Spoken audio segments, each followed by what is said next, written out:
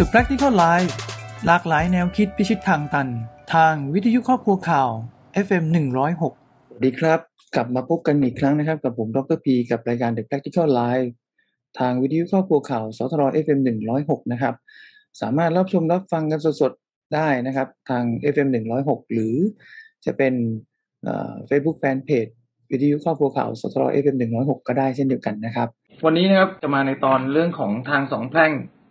จะอยู่ต่อเพื่อรับเงินเดือนที่มากขึ้น หรือจะลาออกเพื่อไปเริ่มงานกับที่ใหม่ ผมว่ามันก็โดนใจหลาย ๆ คนจริงๆมันเกิดจากตัวเราเองด้วยแหละ แล้วก็สถานการณ์ที่เราเราเคยเจอกันในอดีต ก็เลยคิดว่าน่าจะเอาเรื่องนี้มามาพูดคุยกันดีกว่า เพราะว่าผมเชื่อว่าแต่ละคนเนี่ย วันนี้เนี่ยบางคนอาจจะไม่เคยเจอสถานการณ์แบบนี้ แต่วันหน้าก็ต้องเจออยู่ดี ในเส้นทางของการเป็นลูกจ้างเนี่ย ประเด็นเนี้ยมักจะเกิดขึ้นเสมอนะครับ มันต้องตัดสินใจเนี่ย ระหว่างที่เราจะอยู่ต่อ หรือว่าระหว่างที่เราจะไปเริ่มต้นกับที่ใหม่เนี่ย มันมีเรื่องอะไรบ้างที่เราต้องพิจารณา ผมมองอย่างนี้แล้วกันนะฮะ ถ้าเกิดยังอยู่ต่อ สิ่งที่ต้องเจอมันมันมันเห็นละ มีหนึ่งสองสามสี่ห้าหกเจ็ดแปดเก้าสิบอะแล้วแล้วเราจะแก้สิ่งเหล่านั้นได้หรือเปล่า บรรยากาศการทำงานแบบเดิมๆที่เราเคยอยู่เนี่ย เราทนได้ไหมเราสามารถอยู่ต่อไปกับมันได้อีกนานแค่ไหน แล้วสิ่งที่เราทำงานอยู่ทุกวันเนี้ย มันสามารถต่อยอดให้เราเติบโตไปได้ต่อเนื่องอีกหรือเปล่า ถ้าอยู่ต่อเนี่ยคิดเรื่องในเจนด้าก็คือในยะแอบแฝงเนี่ย ผู้ใหญ่พวกนี้มันมีอะไรซ่อนอยู่หรือเปล่า มันหาคนทำแทนเราไม่ได้ผมก็รู้ แล้วก็ถ้าเราไปทำเนี่ย รับเงินเขาแล้วอยู่ต่อเนี่ย มันมันมันเล่นเราแน่ แต่ก็อย่างว่าสังคมการทำงานเนี่ยมันคงไปหาความจริงใจกันยากนะครับคือพูดตรงๆนะทุกอย่างมันคือผลประโยชน์ หลักการเหตุผลเนี่ยมันอาจจะน้อยไปหน่อย ขึ้นอยู่กับว่า เราทำบนพื้นฐานของผลงานให้กับใครมากกว่า แล้วผลงานนั้นเนี่ยมันตอบสนองความต้องการของหน่วยงานเราหรือเปล่า แล้วความต้องการของบริษัทหรือเปล่านะครับ ถ้าเราอยู่ต่อในตำแหน่งใกล้ๆกับของเดิมและรายได้มันมากขึ้นเนี่ยยังไงคนในบริษัทก็ต้องรู้อยู่ดี เพื่อนร่วมงานยังไงก็รู้อยู่ดี เรื่องเงินไม่เคยเป็นความลับนะครับ เรื่องเงินไม่เคยเป็นความลับ และตัวดีเลยคนที่ต้องไปพูดก็คือผู้บริหารเรานี่เองนี่แหละ ก็ต้องไปพูดว่าเห็นไหมมันอยากจะออกสุดท้ายมันก็นะ มันก็ เอ้ย อยู่ต่อเพราะอะไรเพราะเงินก็ต้องพูดแบบนี้อีก เราก็ต้องเสียอยู่ดีนะครับ ทั้งขึ้นทั้งล่องและอย่างเพื่อนร่วมงานเราเนี่ยที่ทำงานหนักๆกันมาเนี่ย มันก็ไม่ยุติธรรมกับเขาเนาะถ้าเกิดว่าเราเราใช้เราไม่เราไม่ออกแต่ว่าเราได้เงินด้วยวิธีเนี้ยผมว่าสำหรับผมผมมองว่าเขาก็คนเราก็คนอะ สู้ไปตายเอาดาบหน้าดีกว่าใช้คำพูดนี้ดีกว่าเพราะเราก็ไม่รู้เหมือนกันว่าที่ใหม่มันจะดีจะเร็วยังไงใช่ไหมฮะ สุดท้ายเราจะต้องไปเจอกับวิบากกรรมอะไรบ้าง ก็ต้องยอมรับความจริงแล้วก็เดินหน้าต่อไปอะ ในเมื่อมันมันมาถึงขั้นนี้แล้วก็ก็ต้องเดินหน้าต่อไปนะครับ ก็ก็ผมก็ตัดสินใจเดินหน้าต่อไป แล้วก็ไม่ได้ไม่ได้หันหลังกลับมาดูที่เก่าละแล้วก็เราก็ก็ผ่านมาได้ด้วยดีนะครับ ก็ก็ก็ทุกวันนี้ก็เลยก็เลยทำแบบนี้มาตลอดทุกครั้งที่เปลี่ยนงานเนี่ย ถ้าผมตัดสินใจแล้วเนี่ย ก็ก็จะไม่จะไม่เปลี่ยนงานตัดสินใจ เราจะอยู่หรือเราจะไปเนี่ย มันต้องคิดให้ละเอียดนิดนึงเหมือนกัน แล้วก็ต้องดู ถ้าอยู่ต่อก็อย่างที่บอกครับ ต้องดูว่าประเด็นเราต้องเราต้องเจออะไรบ้าง ปัญหาที่คงเหลืออยู่ที่ค้างค้างอยู่เราแก้ได้หรือเปล่า เราได้รับอำนาจแล้วก็มีบทบาทที่สามารถแก้ได้ไหมบรรยากาศการทำงานเรายอมรับกับบรรยากาศทำงานแบบเดิมๆได้ไหมเรายอมรับสิ่งที่มันเกิดขึ้นแบบที่เราเห็นมาตลอดหลายหลายปีได้หรือเปล่า ในขณะเดียวกันเนี่ยไอ้เจ้านายที่มันมามาแบบให้คำหวานเราล่อลวงเราทุกประการเนี่ย มันจะยังมันเชื่อถือได้ไหมว่ามันจะ support เราจริงๆ ถ้าเราตัดสินใจอยู่ต่อ คิดเรื่อง agenda นี่สำคัญ บางทีน้องต้องต้องดูด้วยว่า ไอ้ผู้บริหารก็ดีองค์กรก็ดีเนี่ย มันมีนัยยะซ่อนเร้นหรือเปล่า การที่ให้เรากลับมาทำอีกครั้งหนึ่งโดยการให้เงินมากขึ้นเนี่ย เพื่ออะไรทำไมมันไม่ให้เงินเราตั้งแต่แรกวะเราทำมาตั้งนานแล้ว ผลงานเราก็มีทำไมไม่ให้เราตั้งแต่แรก จะมาให้ตอนกูออกทำไมใช่ไหมมันน่าจะมีอะไรซ่อนเล้นแน่นอน บางทีมันอาจจะต้องการตัดขาได้เพราะบางทีบริษัทที่เป็นบริษัทที่เขามาเอาเราไปเนี่ยอาจจะเป็นบริษัทคู่แข่งก็ได้ การที่เสียเราไปอยู่กับคู่แข่งเนี่ย มันเหมือนกับเขาอาจจะมีผลกระทบทางธุรกิจเหมือนกันนะครับ บางทีการดึงเราไว้เนี่ยก็เป็นการที่ป้องกันไม่ให้มึงอ่าป้องกันไม่ให้คู่แข่งเนี่ย ได้กำลังสำคัญไปก็ได้ ต้องคิดหลายหลายหลายหลายมุมมองเหมือนกันนะครับ สิ่งสำคัญก็คือน้องสบายใจกับการตัดสินใจแบบไหนล่ะ อยู่หรือไป อันไหนคือสบายใจที่สุด อันไหนคือตอบโจทย์ที่ตัวเองต้องการมากที่สุดนะครับ อันนี้ก็ต้องต้องตัดสินใจเอา ผมผมไม่ได้บอกว่าการตัดสินใจอยู่ต่อไม่ดีนะครับ ในบางกรณีเนี่ยหลาย ๆ คนเนี่ย ถ้าเกิดอยู่ต่อเนี่ย แล้วมันได้รับการโปรโมทแล้วได้เงินมากขึ้นบางทีมันก็อธิบายเพื่อนร่วมงานได้ อธิบายคนอื่น ๆ ในองค์กรได้ว่าเฮ้ยที่กูอยู่ต่อเนี่ยเพราะกูได้โปรโมทนะแล้วก็มีอ่าหน้าที่ความรับผิดชอบมากขึ้น แน่นอนเงินเงินก็ต้องมากขึ้นด้วย เราเนี่ยต้องดูนะครับว่าอยู่ที่เดิมเนี่ย มันเห็นหนทางหรือเปล่า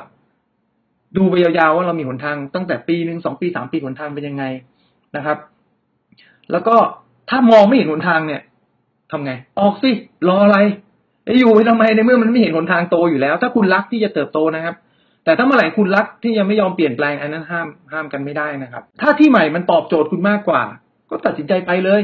การตัดสินใจก็มีสองสองนัยยะของแกบอกก็คือว่าถ้าน้องยังอายุน้อยๆอยู่เนี่ยลุยเลยลองไปเลย ไม่มีอะไรจะเสียอยู่แล้ว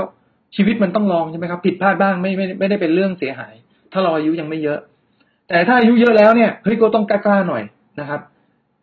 ทนได้ไงถ้าให้เด็กรุ่นหลังมันโตกว่าเรา คุณทนได้ไงนะครับ ก็ต้องกล้าที่จะเปลี่ยนแปลงบ้าง กล้าที่จะพัฒนาตัวเองบ้างนะครับ อายุจริง ๆ มันไม่ได้เป็นปัจจัยสำคัญซะทั้งหมดนะครับ มันอยู่ที่ทัศนคติมากกว่าว่า ตัวเราพร้อมอที่จะเปลี่ยนแปลงหรือเปล่า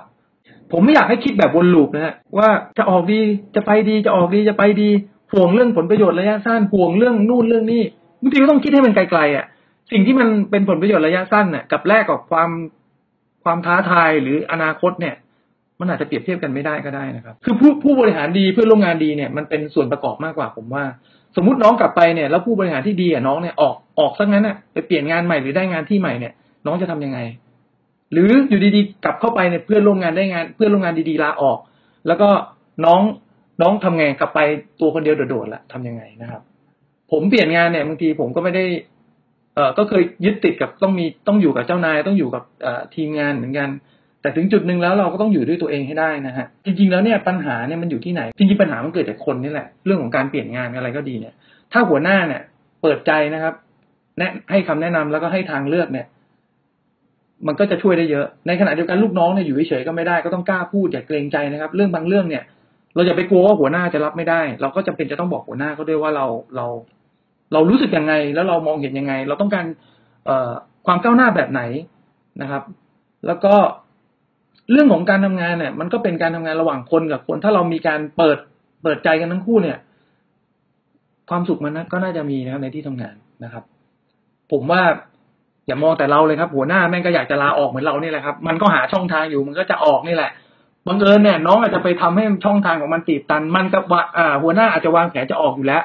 แต่น้องดันไปชิงลาออกก่อนเขาเนี่ยเขาก็เลยอาจจะไม่ไม่รู้จะทำยังไง สุดท้ายเขาก็ต้องอยู่ต่อเพื่อแก้ปัญหาต่อไปก่อนที่จะหาคนมาทดแทนได้นะครับ เปลี่ยนงานทีอัพเงินเดือนกี่เปอร์เซ็นต์มันแล้วแต่ฮะบางทีมันขึ้นอยู่โอกาสขึ้นอยู่กับบริษัทที่น้องไปทำด้วย แล้วขึ้นอยู่กับธุรกิจที่น้องไปทำด้วย เปอร์เซ็นต์มันไม่แน่นอนหรอกครับ แต่ผมบอกบอกได้เลยว่าถ้าตำแหน่งไม่ได้เยอะมาก เงินเดือนอยู่ อยู่ในระดับต่ำแสนเนี่ยการเปลี่ยนงานเงินเดือนจ้ำบางทีสิบยี่สิบสามสิบสี่สิบเปอร์เซ็นต์มีโอกาสสูง แต่เมื่อไหร่ที่ฐานเงินเดือนสูงแล้วเนี่ยการจะจ้ำเงินเดือนสูงๆเนี่ยก็จะยากขึ้นไปด้วยประสบการณ์น้อยเปลี่ยนงานบ่อยดีไหมมันก็มันก็ขึ้นอยู่กับโอกาสนะครับบางทีประสบการณ์น้อยแต่โอกาสมันเข้ามาหาเราเนี่ย มีบริษัทติดต่อเราเข้ามาเนี่ย อยากให้เราไปทำงานก็ต้องเปลี่ยนก็ไม่ได้ไม่ได้ไม่ได้มีผลเสียอะไรนะฮะแต่ถ้าเกิดว่าประสบการณ์น้อยแต่อยากจะหางานใหม่เนี่ย มันอาจจะยาก เพราะว่าการหางานใหม่เนี่ย มันก็มีผู้อ๋อมันก็มีผู้เล่นเยอะแยะในตลาด แล้วก็การแข่งขันก็เยอะเหมือนกันบางทีก็ก็ผมก็ตอบไม่ได้เหมือนกันเพราะว่ามันวงการไหนมันอาจจะมีความแตกต่างกันด้วย ถ้าน้องอยู่ในตลาดงานที่มันมีเอ่อ demand กับ supply ที่ไม่ match กันเช่น มันมีความต้องการสูง แต่มีคนในตลาดน้อย ถึงแม้ว่าจะเป็นคนประสบการณ์น้อย มันก็ง่ายที่จะได้งาน แต่ถ้าเกิดน้องอยู่ในตลาดงานที่โอ้มัน oversupply มาก เช่น เอผมไม่รู้นะตอนนี้ไม่รู้มีตำแหน่งอะไรบ้างที่มันเยอะๆหาคนง่ายมากเลย สมมติหาคนง่ายมากเลยคนประเภทเนี้ยมันก็อาจจะทำให้เราหางานยากก็ได้ เราก็ต้องแข่งขันมากขึ้นจะต้องเอาผลงานมาโชว์กันมากขึ้น หางานดีๆเนี่ยส่วนใหญ่ไม่มีหรอกในอินเทอร์เน็ตที่มันโพสต์กันอะงานดีๆไม่มีในอินเทอร์เน็ตครับ งานดีๆไม่มีในหน้าหนังสือพิมพ์ งานดีๆมันจะมาจากคนที่เขาแนะนำเรา คนที่เขาบอกช่องทางให้เรา connection ที่เรามีเรามักจะได้งานดีๆนะครับส่วนใหญ่จะเป็นอย่างนั้นมากกว่านะครับ ผมเห็นมาหลายคนแล้วที่ได้งานดีๆเงินเดือนกันเยอะๆตำแหน่งโตกันไวๆก็จะมาจากงานที่เกิดจากการแนะนำกันมานะครับ จะไม่ค่อยมาจากงานที่เราไปสมัครการกันเอง อาจจะยากอาจจะมีเหมือนกันแต่ว่ามันอาจจะน้อยเพราะเมื่อไหร่ที่เรามี connection เนี่ยงานวงในเนี่ย มันจะเราจะได้ข้อมูลเยอะ แล้วก็จะรู้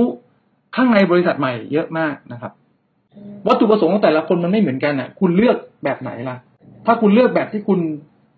ตอบโจทย์ตัวคุณก็ไปเลย ก็ไม่ได้ไม่ได้มีปัญหาอะไร อย่ายึดติดฮะอย่ายึดติดกับบริษัท เราก็เป็นแค่ลูกจ้างแล้วชีวิตการทำงานเรามีจำกัด ทุกอาชีพมันมีระยะเวลาของมัน แล้วก็ตัวเราก็มีระยะเวลาที่จำกัดด้วย ถ้าเราเดินทางช้าในช่วงต้น เราอาจจะต้องมาเหนื่อยในช่วงปลาย แต่ถ้าเราเดินทางขึ้นที่สูงแบบรวดเร็วตั้งแต่ต้น เราก็จะมีเวลากอบกวยได้อีกนานนะครับ ผมทดสอบตัวเองนานไหมเหรอไม่นะผมเป็นคน เป็นคนรู้ตัวเองไวมากคือ ผมชอบทำหลาย ๆ อย่าง ที่ผมไม่เคยทำแล้วผมทำไปเรื่อย ๆ ผมก็เอาเอ้ยมันไม่ได้ยากอย่างที่คิดเนาะเราก็ทำได้แล้วก็ทำไปเรื่อย ๆ แล้วก็ผมประเมินตัวเองจากอะไร ผมดูจากคนที่เก่งกว่าผม รอบตัวผมในในที่ทำงานน่ะ ใครที่เป็นไอดอลผม ผมมีไอดอลเยอะมาก แล้วมีไอดอลทีเดียวหลาย ๆ คนด้วย มี role model role model ก็คือตัวอย่างดี ๆ หรือว่าไอดอลของผมอะในหนึ่งช่วงชีวิตของผมเนี่ย ผมมีไอดอลหรือว่า role model ในแต่ละด้านหลายคนเลย เช่น ผมอยากได้ทักษะแบบเนี้ย คนนี้คือไอดอลผม ผมอยากได้ทักษะแบบที่สองคนที่คนที่สองคือไอดอลผม แล้วผมก็ดูว่าความสำเร็จของแต่ละคนที่เป็น role model ผมเนี่ยเขาทำมาได้ยังไงเขาโตมาได้ยังไงเขาแก้ปัญหามาได้ยังไง ผมก็ลอกเลย ลอกเลียนแบบวิธีการของเขาแต่เราก็ต้องมาปรับให้ตรงกับของเราด้วยจริตของผมเป็นแบบเนี้ย มัน มันอาจจะไม่ได้เหมือนเขาเป๊ะร้อยเปอร์เซ็นต์แต่ว่าเวลาทำออกมาแล้วเนี่ย มันจะกลายเป็นตัวของผมเองนะครับ แล้วก็ขอแชร์ประสบการณ์เคยยกเลิกบริษัทใหม่อยู่ต่อกับบริษัทเดิมรายได้เพิ่มขึ้นจริง แต่มันไม่ตอบโจทย์เราที่จบตอบโจทย์ที่ต้องการ ไม่เติบโตแต่รายได้แค่เลี้ยงตัวเองได้ก็เป็นตัวอย่างหนึ่งนะครับ ของชีวิต ก็ก็ไม่เป็นไรฮะ เราก็ยังเปลี่ยนเส้นทางได้ เราก็สามารถหาช่องทางอื่นต่อไปได้นะครับน้องน้ำตาล หัวข้อนี้ดีมาก น้องทำงานมาเสียปีแล้ว เหนื่อยท้อ คิดว่าตึ๊ดตึ๊ดตึ๊ดตึ๊ดก็ลองดูนะครับ มันมันมันเปลี่ยนได้หมดนะผมว่า ชีวิตมันเกิดมาแล้วต้องทำอะไรมันมันบ้างนะฮะเราเราจะมาจบชีวิตโดยมองกลับไปแล้วเฮ้ยเราน่าจะทำอย่างนั้น เราควรจะทำอย่างนี้ มันเสียดายอะผมผมไม่เสียดายเลยดีกว่าเอางี้ดีกว่า แต่อยากให้คิดอย่างนี้นะครับ ว่าเมื่อไหร่ที่เราตัดสินใจเลือกทางเดินทางใดหนึ่งแล้วเนี่ยอย่าไปคิดกับทางเลือกที่เราไม่ได้เลือกแล้วกัน มันป่วยการนะเพราะเพราะน้องไม่ได้เลือกทางนั้นอยู่แล้วไงน้องเลือกทางวันนี้แล้วพอน้องไม่ได้เลือกทางนั้นเนี่ยน้องก็ไม่รู้หรอกว่าทางที่น้องไม่ได้เลือกมันจะผลลัพธ์เป็นยังไง เดินหน้าแล้วต้องเดินให้สุดฮะเราก็ยังมีเส้นทางย่อยๆที่เราสามารถเลือกได้อีก ไม่ได้บอกว่าการตัดสินใจวันนี้ ที่จะไม่อยู่กับบริษัทปัจจุบันแล้วไปบริษัทใหม่ มันจะเป็นจุดจบของชีวิตเรานะเรายังสามารถสร้างจุดเริ่มต้นใหม่ได้เรื่อยๆกับที่ใหม่ ๆ อีก กับวิธีการดำเนินชีวิตใหม่ ๆ อีก ประเด็นก็คือว่า อย่าไปยึดติดกับสิ่งรอบตัวมากนะครับ ขอให้ดูตัวเองด้วยว่าเราเหมาะสม แล้วเราพร้อมที่จะก้าวต่อไปหรือเปล่านะครับอออย่าไปท้อนะครับ ใครก็แล้วแต่การศึกษาผมขอร้องนะอย่าไปโทษตัวเองมันผ่านไปแล้ว เดินหน้าอย่างเดียวครับ อย่าไปกลัวด้วย คนเรียนเก่งไม่ไม่ได้ว่ามันอยู่อยู่ค้ำฟ้านะแล้วก็คนเรียนเก่งก็ไม่ได้จะประสบความสำเร็จยิ่งประมาทนะ คนเรียนเก่งอะคนเรียนเก่งนะมันแพ้คนขยันนะ คนขยันนี่เขาพรูฟมาแล้ว ยังไงก็ทำเอาชนะคนเรียนเก่งได้ เช่นเดียวกันไอ้พรสวรรค์เนี่ยผมก็แพ้พรแสวง ผมเองแม่งก็ไม่ได้มีพรสวรรค์อะไรเลย เรียนก็เคยเรียนตกนะเกรดก็ก็ก็ง่ายนะแต่เอาเข้าจริงมันก็ทำได้หมดอะ ผมว่าเอาเข้าจริงก็ทำได้หมด โอ้ยผมนี่สะสมความล้มเหลวมาเต็มไปหมด ถ้าเกิดว่าเอ่อสำเร็จตลอดทุกเรื่องชีวิตมันคงไม่มีรสชาตินะฮะเราคงไม่มานั่งพูดให้พวกคุณฟังได้ขนาดนี้หรอกถ้าผู้จัดการดูถูกลูกน้องว่าไปทำอาชีพที่เขาใฝ่ฝันไม่ได้ที่ ที่ไปสนใจฮะใครดูถูกเราปล่อยแม่งไปฮะพูดตรงๆเลยชีวิตก็ชีวิตกูอะเรื่องของมึงอะอย่างผมไม่ค่อยสนใจอะใครดูถูกผมหรือว่าใครมาวิพากษ์วิจารณ์ผมผมอยากให้ด่าผมต่อหน้าด้วยซ้ำขอบคุณเลยถ้าพูดต่อหน้านั่นหมายว่าคุณจริงใจกับผมมาก คุณกล้าว่าผมต่อหน้าเนี่ยแสดงว่าคุณโคตรจริงใจกับผมเลย แต่ถ้าเกิดคุณแม่งตุ๊ดนะ หรือว่าป๊อตนะแบบเนี้ยไปด่าผมรับหลังเนี่ยนี่ประโยชน์ผมไม่รู้ไงว่าคุณพูดจริงเปล่า พูดต่อหน้าดีกว่า อย่างน้อยมันเป็นอ่า อาจจะมีบางจุดที่เราเรามาคิดต่อยอดได้ว่าเฮ้ยที่เขาพูดเขาอาจจะมันอาจเป็นสกิดต่อมบางอย่างเราให้เราวางแผนต่อไปได้ หรือว่าแก้ไขตัวเราเองก็ได้นะครับ ไออาชีพในฝันของใครแต่ละคนเนี่ยวิพากษ์วิจารณ์กันไม่ได้ ทุกคนมีความฝันหมดอะสิ่งที่มันแตกต่างก็คือว่าแต่ละคนแม่งทำฝันตัวเองให้เป็นจริงได้หรือเปล่าแค่นั้นเองและอาชีพในฝันมันทำเงินเลี้ยงดูชีวิตคุณได้หรือเปล่า ถ้าคุณอยากจะทำอาชีพในฝันแล้วมันเลี้ยงดูตัวเองไม่ได้เนี่ย แล้วมันคุณทำให้ครอบครัวเดือดร้อนเนี่ย ผมถามคุณทำทำไมอะ ถามว่าวันนี้ทุกคนเนี่ยทำอาชีพในฝันแล้วผมว่าไม่ใช่ผมเข้าใจไง แต่ชีวิตมันต้องเดินต่อไป มันต้องหาเลี้ยงชีวิตอื่น ๆ ด้วยที่อยู่รอบตัวเรา คุณสู้คุณทำชีวิตที่มันจำเป็นต้องเป็นหน้าที่ให้ดีก่อน แล้วในขณะเดียวกันถ้ามันสามารถทำสิ่งที่มีความฝันอยู่ขนานกันไปได้ก็ทำไปนะครับ ก็ทำคู่กันไปก็ได้นะครับ หรือว่าสำเร็จฝั่งหนึ่งแล้วก็ไปต่อยอดในสิ่งที่เราต้องการก็ได้นะครับ การพัฒนาตัวเองเนี่ย มันไม่มีวันสิ้นสุดอยู่แล้ว ความรู้เนี่ย คุณไม่สามารถจะเสพทุกอย่างได้ในช่วงชีวิตที่คุณเหลืออยู่ คุณต้องเลือกเสพเฉพาะสิ่งที่คุณต้องใช้เท่านั้น เราไม่ได้มีอายุยืนเป็นร้อยร้อยสองสามร้อยปีเนี่ยแล้วระยะเวลาความสำเร็จคุณรอได้ไหมล่ะห้าสิบปีคุณบอกโอ้โหผมอยากเรียนนู่นเรียนนี่เต็มไปหมดเลยไอคนนี้บอกอยากเรียนนี่ไอคนนั้นก็บอกอยากเรียนนั่นไอคนนั้นก็อยากให้เราไปเรียนนู่น คุณเรียนแม่งหมดเลยอะเวลามันเหลือน้อยลงนะยิ่งเราอายุเยอะขึ้นเวลาเรายิ่งเหลือน้อยลงใช่ ตอนเริ่มต้นของช่วงชีวิตเนี่ยมันอาจจะต้องกว้าง แต่สุดท้ายคุณต้องเลือก คุณต้องบีบลงมาเรื่อยๆให้มันแคบลงแคบลง เพราะเส้นทางที่คุณต้องเดินแต่อย่าอย่าไปแคบมากนะแคบมากบางทีก็ไม่ดีเหมือนกัน อาจจะต้องแบบพอดีพอดีเพื่อให้มีเวลาเหมาะสมที่เราใช้ในการเรียนรู้สิ่งใหม่ ๆด้วยนะครับทำงานกับบริษัทใหญ่ๆแต่ฐานเงินเดือนไม่สูง เพราะมีกระบอกเงินเดือนครับ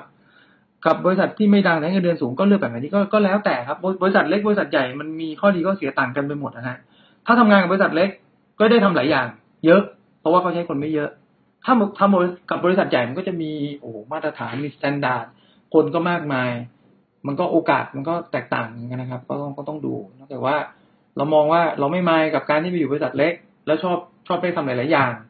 แล้วก็ได้เงินเดือนเยอะด้วยก็ไป แต่บางคนยึดติดกับบริษัทใหญ่ผมมีเพื่อนแบบเนี้ยกูไม่รู้ว่ากูต้องอยู่บริษัทใหญ่ๆอะเงินเดือนไม่เยอะไม่เป็นไรแต่กูกูชอบอะนำบัตรกูบริษัทเนี้ยบริษัทเนี้ยแถวบางซื่อเนี่ยคนรู้จัก ไปไหนก็รู้จักอธิบายรู้จักหมด แต่บางบริษัทโอ้ชื่ออะไรก็ไม่รู้ ผมเนี่ยประจำเลยทำงานเนี่ย แม่ผมเองนะคนในครอบครัวเองยังไม่รู้เลยปัจจุบันผมอยู่บริษัทอะไรเพราะชื่อเสียงมันไม่ได้โด่งดังในในเป็นเป็นบริษัทที่คนทั่วไปรู้จัก มันเป็นงานเฉพาะด้านก็ก็ก็แล้วแต่ ไม่ได้ผมไม่ได้สนใจตรงนั้นอยู่แล้วนะครับ แต่บางคนเขาเขาซีเรียสมากเขาเขาเขาเน้นอะ ต้องต้องทำงานบริษัทที่มันมีชื่อเสียง ถึงแม้ว่ารายได้อาจจะไม่โอก็ก็ก็ก็โอในแง่ความรู้สึกนะฮะ ก็เอ่อแล้วบริษัทใหม่จะรู้ได้ยังไงครับ ว่าเราเก่งเนี่ยจริงมันก็ไม่ยากนะ ถ้าเกิดน้องทำงานอยู่บริษัทเก่าเนี่ยแล้วมันมีผลงานการได้ถ้ายิ่งโอ้ยิ่งเป็นเซลล์นี่ชัดเจนเลย ถ้าเป็นเซลล์นะมันต้องแข่งกันอยู่แล้วกับบริษัทอื่น ยิ่งเราเป็นเซลล์ที่เป็น top performer top performer ก็คือว่าโอ้โหผลงานเด็ด งานนู้นก็ได้ งานนี้ก็ได้ คู่แข่งก็จะเริ่มแล้ว เอ้ย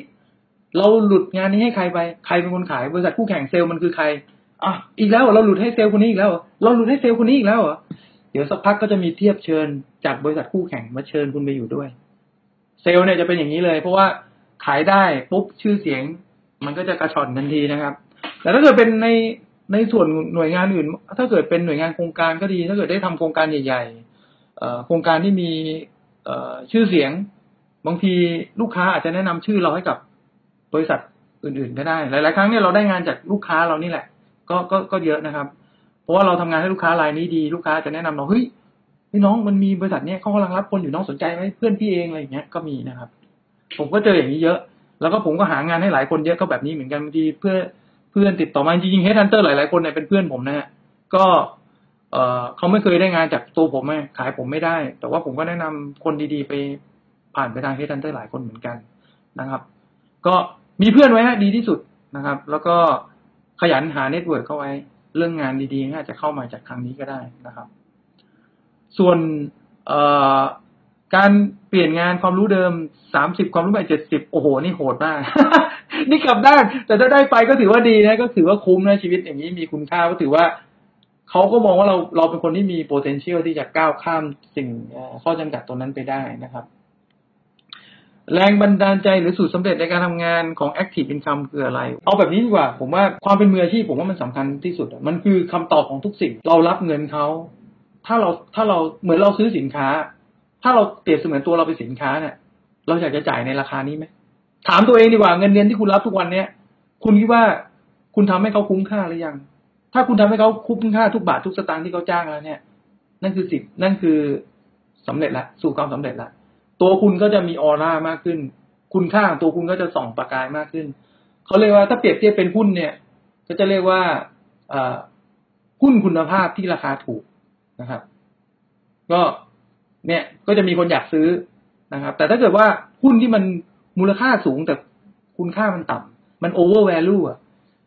พวกนี้คนก็อยากจะขายทิ้งด้วยซ้ำนะ คนที่ถืออยู่ ในขณะเดียวกันพอขายทิ้งปุ๊บก็ไม่มีใครอยากจะซื้อด้วย ถ้าเขาซื้อเขาก็จะซื้อที่ราคา under price ก็คือ cut price อะก็จะไม่ใช่ราคาที่เขาเขาเขา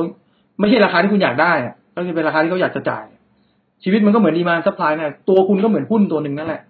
คุณจะทำให้ตัวเองเนี่ย มีคุณค่ามากกว่าราคาที่เขาเขาจะซื้อ หรือคุณจะทำให้ตัวคุณเอง มีคุณค่าสูงเกินกว่าคุณค่าที่คุณส่งมอบให้ก็ต้องเลือกเอาเราสามารถเช็คได้ก็คือว่า ถ้าเราทำงานอยู่เราเงินเดือนสมมติเราเงินเดือนสองหมื่นบาท แต่เราเช็คเรตติ้งข้างนอกแล้วเนี่ย ด้วยตำแหน่งงาน แบบเราความสามารถแบบเราเนี่ยเขาจ้างกันอยู่สามหมื่นห้าเนี่ยเฮ้ยแสดงว่า แล้วเรามาดูด้วยนะผลงานย้อนหลังเราที่ผ่านมาเนี่ยเฮ้ยเราก็ได้เ e อร์ฟอร์แมนซ์ที่ได้เกรดเอมาตลอดนะเฮ้ยแสดงว่ามันผิดผิดผิดละไม่ถูกละคนอื่นกล้าจ้างเราขนาดเนี้ยไอ้คนอื่นเขาให้เราคนอื่นข้างนอกเขาให้เงินกันขนาดเนี้ยแต่เราได้แค่เนี้ยเราก็อาจอาจจะไปคุยกับเจ้านายได้ คุยกันตรงๆเออไอ้ผมทำอะไรผิดหรือเปล่า ที่ผ่านมาผมก็ทำมาตลอดนะแบบเนี้ย พี่คิดว่ายังไง ฟังมันหน่อยเลยหัวหน้ามันว่าไง ถ้ามันไม่ช่วยอะไรเลย หางานใหม่ไปเลย ไม่ต้องมาทู่ซีกัน แต่อย่ามาโน อย่ามาโน เออบริษัทแม่งไม่นู่นไม่นี่ คุณยังไม่เคยลองคุยกับหัวหน้าคุณเลยไปรู้ได้ไงใช่ไหมฮะไม่จะเสีย อย่าไปกลัวเรื่องบางเรื่องผลประโยชน์ของตัวเราเองแท้ๆก็ต้องคุย อนาคตของเราเองแท้ๆก็ต้องคุย ผมก็คุย ผมก็ไม่สนเหมือนกันอะผมก็อยากรู้ว่ามันคิดยังไงใช่ไหมฮะไม่ได้ก็จะได้รู้ว่าไม่ได้ ได้ ช้าหน่อยก็จะได้รู้ว่าได้ก็ช้าหน่อย หรือทางเลือกอื่นมีให้ให้มีให้เราไหมนะครับ ก็ต้องดู บริหารคนมากกว่าบริหารงานจริงครับ เพราะว่าธุรกิจทำด้วยคนคนนี่แหละต้นตอของปัญหาทุกเรื่องนะครับ เราเองก็เป็นคนบางครั้งเราเองก็เป็นตัวต้นกำเนิดของปัญหาเหมือนกัน ก็อย่าไปว่าใครนะฮะตัวเราเองนี่แหละ ถ้าเราควบคุมตัวเองได้พยายามทำให้ตัวเราเนี่ย เป็นภาระคนอื่นให้ได้น้อยที่สุดนะครับ แล้วก็ช่วยคนอื่นได้ในยามที่ช่วยได้ ก็แค่นี้ก็ดีแล้วครับ นะฮะแค่ไม่เป็นภาระนี่ก็บุญนักหนาแล้วฮะ ไม่ว่าจะเป็นการตัดสินใจอยู่ที่เก่าหรืออยู่ที่ใหม่เนี่ย ก็คิดให้รอบคอบแล้วกันนะครับ บนพื้นฐานข้อมูลเหตุผล และความรู้สึกที่ตัวเองมีนะครับ ไม่มีใคร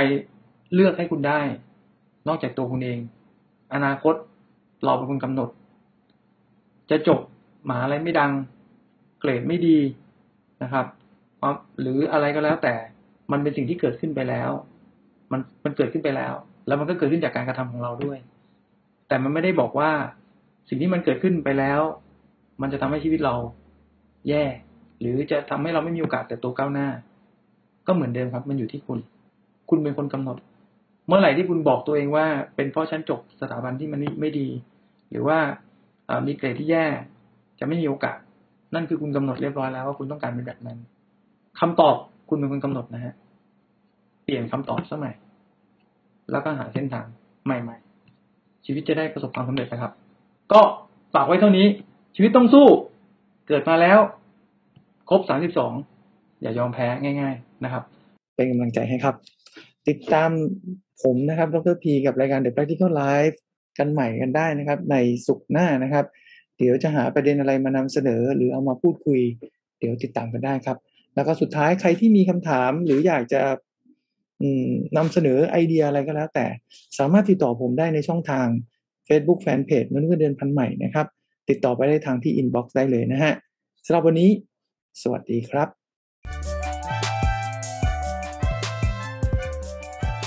The Practical Life หลากหลายแนวคิดพิชิตทางตัน ทางวิทยุครอบครัวข่าว FM 106